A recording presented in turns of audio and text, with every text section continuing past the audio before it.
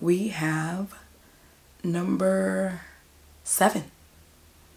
Surround yourself with love, whether it be friends, pets, a keepsake, music, plants, hobbies, whatever. Your home is your refuge. What do you love? Right? What do you love? I love me. I love my partner. I love my family. I love my, my dogs. I love cooking. I love my friends that are like family. I call them my family, right? I love being able to communicate and speak to all of you. I love writing. I love music. I love music. I love playing music while I cook, which I love cooking. I love cooking. I love the culinary arts. I love baking. I love the process of creation in all aspects. Right? I love writing. I love orating. I love speaking. I love traveling. I love, you know, the process sometimes of getting it together, but when I get on a plane every single time I ascend and descend, I have this like immense feeling of gratitude and, and joy that comes over me every single time I get on a plane, going and coming from, or, or ascending and descending every single time. It hasn't stopped. And it's been many years since I started traveling as a kid, and I still have the same feeling every single time, right? So I love. So search what you love. What do you love, right?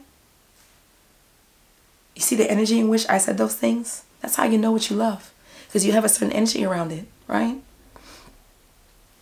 But I implore you, search what you love.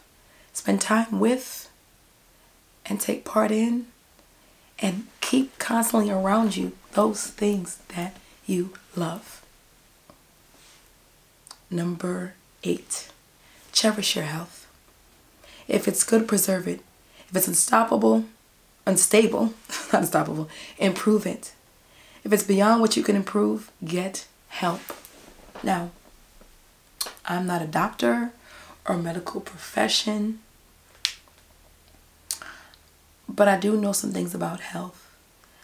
And I told you I believe that my definition of health is sometimes a little different than some. Um, I believe we should do things like eat right. But what's eat right? See, I don't believe that there's one way for everyone, meaning, okay, you have to be vegan. That's the only way to be healthy. Because there's a lot of people that are vegan and vegetarian that aren't healthy. Right? Just saying. An, an immense amount of processed, faux things that are made to represent, like, you know, the faux burgers and the faux meats and the faux this and the faux that. I think too much of that is not good. Right? So there's a lot of vegans and vegetarians that aren't healthy. Same goes for people who eat just meat or eat a combination. Right? So you have to find what's best for you and if you and, and or what's best for your body, right? For your system. Um, and sometimes you don't always know. But I would say trial and error right? I also would say get help. Like, you know, search a doctor, a nutritionist, right?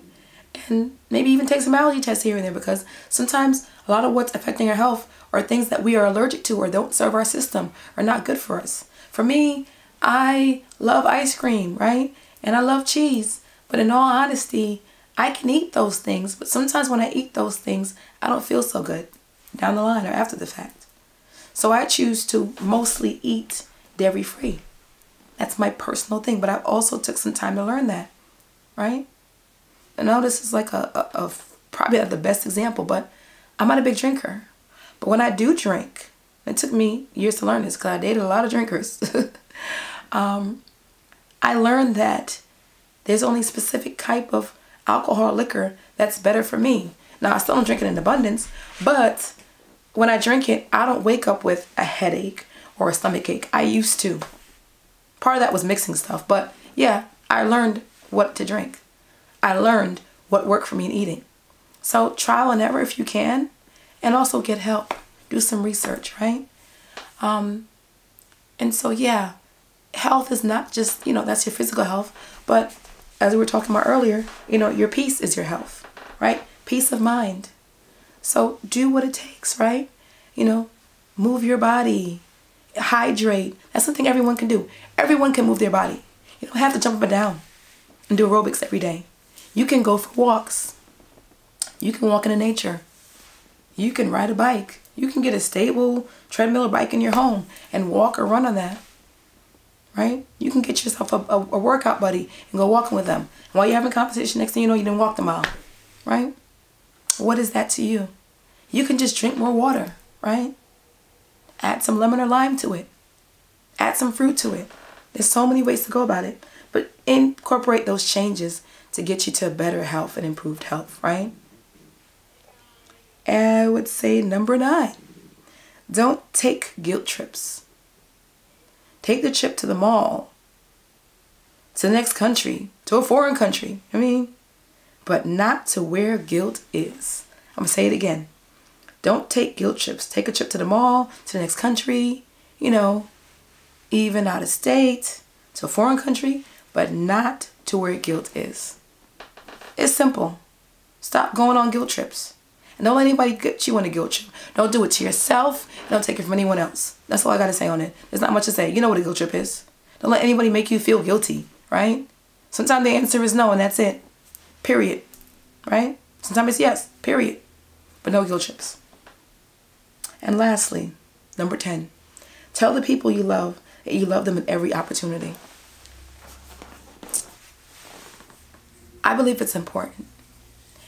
And I feel that we all, I know I've done it. Sometimes we wait until we lose someone or something tragic happens for us to, to start doing that. Let's not do that. Let's not wait until there's a loss. We've lost a friend or family or someone we know has lost someone or there's a big tragic event in the world. Let's do it now, every day, as much as is possible. Tell your loved ones you love them. Tell them you love them. Tell them you appreciate them. And if you can, embrace them. And I'm going to add something to that. Tell yourself that you love you every day, all the time. Look, do it in the mirror. I know that's called mirror work. Sometimes it feels strange, but do it anyway, right? Say, I love you, right? I appreciate you. I am grateful for you. Tell your loved ones, tell yourself, and then embrace yourself, right? And do that today. So, hope this video has been helpful. Thank you so much for joining me. If you like this video, give it a thumbs up. And subscribe to the channel as well. Leave a comment in the comment section and let me know which one of those things resonated with you. Um, all of them? One, two, five, ten? What resonated with you? And what do you take from it, right? And how are you going to use it in your life? And also, if you'd like more videos like this, subscribe to my channel. And also click the link in my bio and join my free VIP group. Come on over for more community, more inspiration, more information, and a reminder all the time of the greatness that is in you. I appreciate you. Thank you for joining me. Until next time, you have an amazing one.